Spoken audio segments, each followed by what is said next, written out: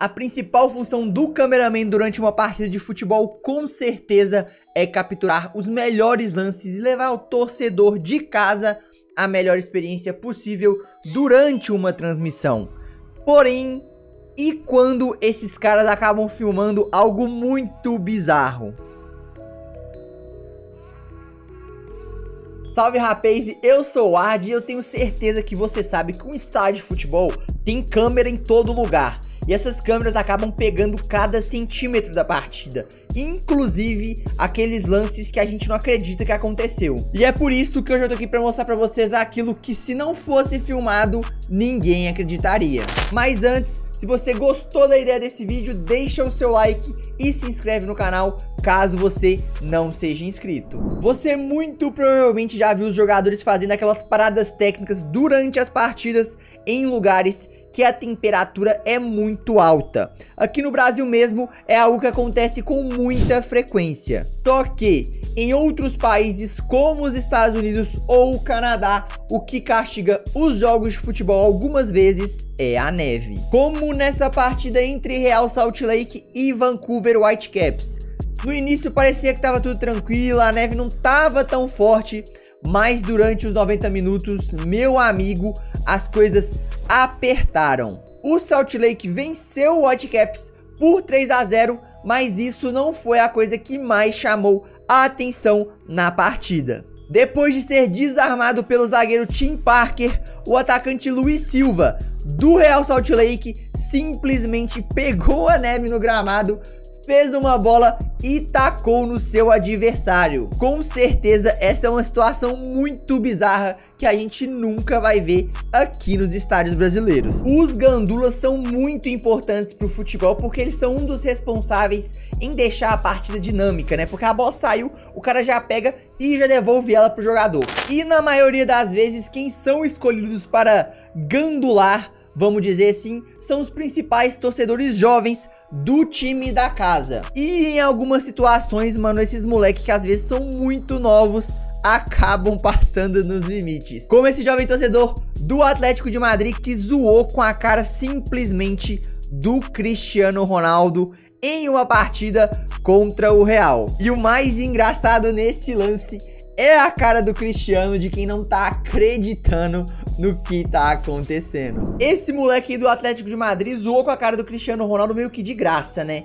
Mas, galera, os jogadores de futebol têm que entender o poder do, dos gandulas e tem que respeitar os camaradas, mano. Só que o goleiro Robbie Green, que já defendeu o Kings Park Rangers, talvez não saiba disso. Em uma partida contra o Aston Villa, depois que a bola saiu pela linha de fundo, o gandulinha do time da casa tentou correr para repor a bola o mais rápido possível e acabou caindo. Na filmagem não pegou, mas muito provavelmente o Rob Green falou alguma coisa com o moleque que para tentar descontar meio que a zoeira do goleirão fez isso aí com ele. Todo mundo sabe que Manchester United e Manchester City é o derby da cidade de Manchester e que nesse confronto já aconteceu quase de tudo desde goleadas históricas até gol no último segundo. Então, quando um dos dois lados está vencendo esse clássico, os jogadores sabem que tem que fazer uma serinha, porque cada minuto é muito importante para manter a vitória contra o rival. E quem leva isso realmente em consideração é o lateral Walker do Manchester City, que para gastar tempo no cronômetro da partida fez isso aí com o jovem Gandula do Manchester United. Isso aí é muito sacanagem, porque dá pra ver que o Gandula é muito novo e fica meio sem reação. O moleque fica tentando jogar a bola de novo pro Walker, que acaba fazendo uma hora tremenda com a cara dele. Quem acompanha futebol sabe que um dos momentos que o goleiro não pode encostar a mão na bola é quando ele recebe um recuo com o pé.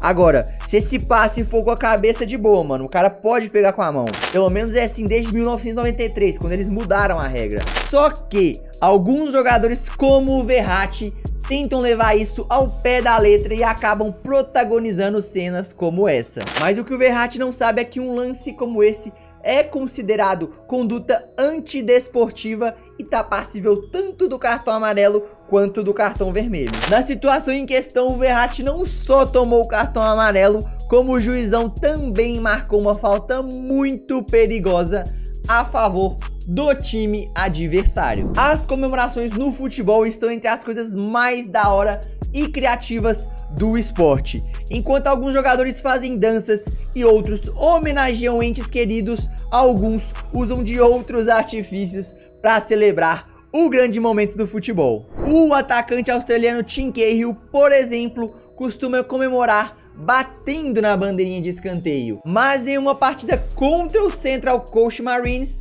o Gandula, que já conhecia o hábito do jogador, tirou a bandeirinha do local que ela está acostumada a ficar para que ela não fosse agredida. E se o Tim Cahill bate propositalmente na bandeirinha para comemorar os seus gols, a gente pode dizer que o Timo Werner, velho, atacante badalado da seleção alemã e do Chelsea, meio que apanhou para a bandeirinha de escanteio. Em uma partida dessa temporada contra o Manchester City, o camisa 11 dos Blues resolveu bater um escanteio curto e acabou protagonizando um dos lances mais bizarros que já rolou na Premier League. Muito provavelmente você já viu um jogador se deitar no gramado, mano, para fazer uma serinha ou para lamentar aquele gol claro que ele perdeu. Nesse lance, não dá para dizer ao certo o que o Cahill, que na época jogava no Everton, estava fazendo. Mas com toda certeza, o Ferdinand, lendário zagueiro do Manchester United, não quis nem saber. Levantou o atacante pela blusa em um dos lances mais engraçados e inusitados do futebol. Como eu já falei aqui, os clássicos costumam parar as cidades e deixar o fanatismo dos torcedores à flor da pele. Em mais um derby entre Manchester City e Manchester United, o Van Persie marcou esse golaço de falta no final da partida e deu a vitória por 3 a 2 para o United.